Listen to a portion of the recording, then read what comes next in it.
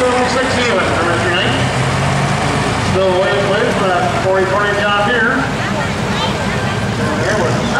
He'll be back later on. In the 57 pro stock, we have Dan Horel on an Elk Mountain with tool